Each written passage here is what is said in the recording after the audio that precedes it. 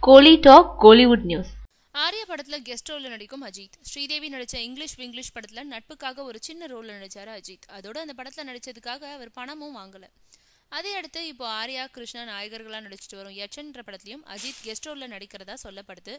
இந்த யச்சன் படத்தை இயக்கும் விஷ்ணுவர்தன் ஏற்கனவே அஜித் நடிச்ச பில்லா ஆரம்பம் ஆகிய படங்களை இயக்குனவர். அதோட ஆரம்பம் படத்துல அஜித்தோட ஆர்யாவையும் நடிக்க வச்சாரு. இந்த நிலையில யச்சன் படத்துல ஆர்யா அஜித்தோட ரசிகராவே நடிக்கிறதுனால ஒரு காட்சியில் அவர் நடிச்சா சிறப்பாக இருக்கும்னு நினைச்ச விஷ்ணுவர்தன் இதை பத்தி அஜித் கிட்ட சொன்னாராம். அதுக்கு கௌதம் மேனன் இயக்கும் படத்துக்காக கெட்டப்ப மாத்தி நடிச்சுக்கிட்டு இருக்கேன். அதனால இது சம்பந்தப்பட்ட காட்சிகள் படமாக்கப்பட்டதும் கண்டிப்பா நடிக்கிறேன்னு அஜித் சொல்லியிருக்காராம். ஆக இது வரைக்கும் சத்தம் இல்லாமல் வளர்ந்துகிட்டு இருந்த யட்சன் படத்துல இப்போ அஜித் நடிக்கிறது பத்தின செய்திகள் புகைய தொடங்கி இருக்கிறதுனால யட்சனை புதிய பரபரப்பு தொற்றிக்கிட்டு இருக்கு.